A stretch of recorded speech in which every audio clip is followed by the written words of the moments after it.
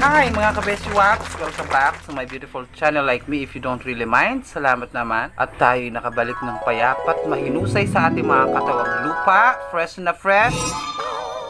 Um, kahit hindi masyadong halata sa mukha ko yung pagka-fresh, pagtsagaan nyo na lang. Okay?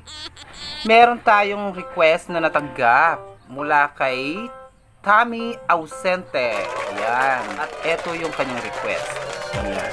Sa screen. Ayan ha. Sir, pahingi ng copy ng measurements lahat po. Thanks po in advance. So, well, palakpakan po natin si Kuya Tommy Ausente for this wonderful request. O, yung tinutuko niya yung jersey. Kasi doon sa jersey tutorial natin about gumawa tayo ng pattern. Meron naman akong copy dito, mga kaibigan, mga kabeswaps.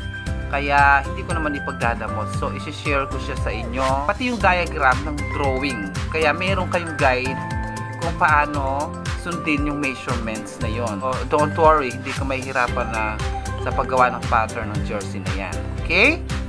Kaya, kung bago ka pa lang sa aking channel, don't forget to subscribe and i-click yung bell notification, lalo na yung all. Kasi para walang makalagpas sa mga video ko, mapapanood mo lahat kasi nakaklik yung all.